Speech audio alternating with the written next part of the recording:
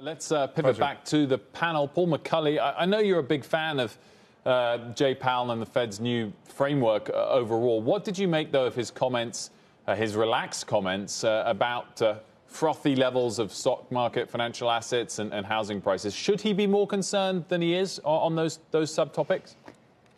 I think his mere use of the word frothy was his intent because he acknowledged the obvious while saying that the overall architecture they have for financial stability is not flashing a yellow warning sign, but the actual use of froth is going to be discussed a great deal in the marketplace. So it's not saying that he's going to do anything about it, but he's acknowledging the obvious.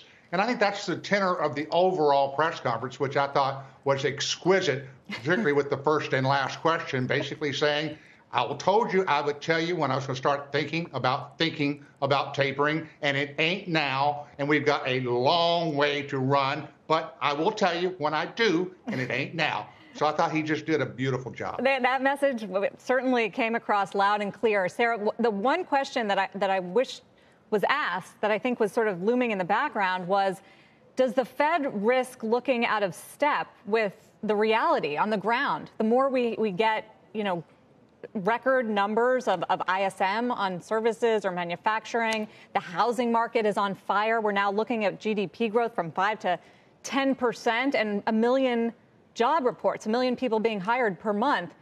At some point, if the Fed is still in emergency mode of $120 billion worth of asset purchases and rock bottom rates, does it risk being out of sync? That's exactly right. And they don't want to be out of sync. I mean, that would be something they don't want to get near at all, because that, of course, undermines their credibility. So he has to, and the entire FOMC, they have to stay very close to the data. They have to watch it really extremely scrupulously uh, to make sure that they, in essence, are able to uh, maintain this stance. And it is, as you say, a highly accommodative stance in the light of, of, of data that is coming in really better than uh, many of them expected.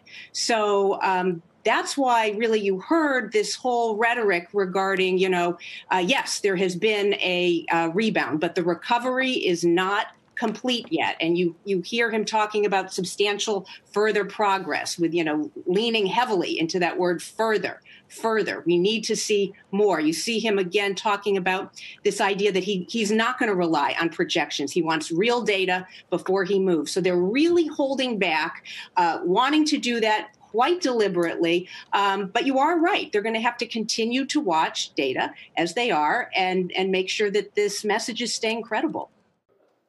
Shepard Smith here. Thanks for watching CNBC on YouTube.